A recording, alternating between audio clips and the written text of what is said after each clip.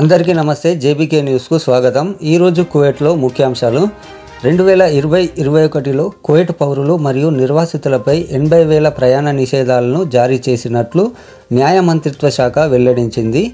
గణాంకాల ప్రకారం రెండు వేల ఇరవై మరియు ఇరవై ఒకటిలో జనరల్ అడ్మినిస్ట్రేషన్ ఎన్ఫోర్స్మెంట్ డెబ్బై ఆరు వేల నాలుగు వందల తొంభై ఒక్క ప్రయాణ నిషేధాలను నమోదు చేసినట్లు అందులో తొమ్మిది వేల ఐదు వందల నలభై నాలుగు అతిపెద్ద గవర్నరేట్ అయిన హవేలీలో నమోదు కాగా మరియు ఫర్వానియా గవర్నరేట్లో ఎనిమిది వేల ముప్పై ఎనిమిది మరియు హమదీ గవర్నరేట్లో ఏడు వేల తొమ్మిది వందల ఎనభై నాలుగు మరియు ముబారకల్ కబీర్ గవర్నరేట్లో రెండు వేల రెండు వందల ఇరవై ఏడుతో ప్రయాణ నిషేధాలు నమోదు కాగా కువైట్ విమానాశ్రయంలో ముప్పై ఆరు వేల ఏడు వందల తొంభై ఒక్క ప్రయాణ నిషేధాల ఉత్తర్వులు నమోదు చేయబడ్డాయి.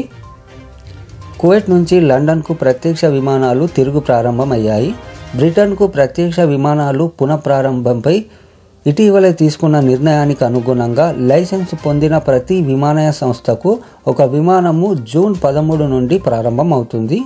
అల్ జజీరా ఎయిర్వేస్ ఎయిర్వేస్ తన ప్రత్యక్ష విమాన ప్రయాణం కువైట్ నుంచి లండన్కి జూన్ పద్దెనిమిది ప్రతి శుక్రవారం వారానికి ఒక విమానంతో తిరిగి ప్రారంభించనుంది. కువైట్లో ముప్పై టీకా కేంద్రాలు మధ్యాహ్నం మూడు నుండి రాత్రి పది వరకు తెరిచి ఉంటాయి. దేశంలోని వివిధ ప్రాంతాల్లో ముప్పై టీకా కేంద్రాల పని గంటలు మధ్యాహ్నం మూడు నుండి పది వరకు తెరిచి ఉంటాయని ఆరోగ్య మంత్రిత్వ శాఖలోని ప్రాథమిక ఆరోగ్య సంరక్షణ కేంద్ర విభాగం డైరెక్టర్ దబీబ్ తెలిపారు. భారతీయ విదేశాంగ మంత్రి డాక్టర్ ఎస్ జయశంకర్ పర్యటన సందర్భంగా భారత్ కువైట్ దేశీయ కార్మికుల నియామకంపై సహకారం కోసం అవగాహన ఒప్పందం కుదుర్చుకున్నారు. ఈ ఒప్పందం కువైట్లోని భారతీయ గృహ కార్మికులకు చట్టబద్ధమైన చట్టంతో తీసుకువస్తున్నట్లు తెలిపారు. ఉపాధి ఒప్పందాన్ని ప్రవేశపెడుతుందని మరియు యాజమాని గృహ కార్మికుల హక్కులు మరియు బాధ్యతలను నిర్వహిస్తుందని గృహ కార్మికులకు ఇరవై నాలుగు గంటల సహాయం కోసం ఒక యంత్రాంగాన్ని ఏర్పాటు చేయడానికి ప్రయత్నాలు జరుగుతున్నాయి.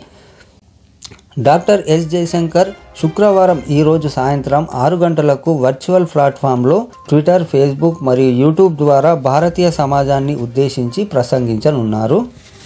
గడిచిన ఇరవై నాలుగు గంటల్లో కొత్త కరోనా కేసులు ఒక వెయ్యి ఏడు వందల తొమ్మిది మరణాలు నాలుగుగా నమోదయ్యాయి. ఓకే ఫ్రెండ్స్ ఈ వీడియో మీకు నచ్చినట్లయితే లైక్ షేర్ చేయండి. మన ఛానల్ కొత్త అయితే సబ్స్క్రైబ్ చేసుకోండి.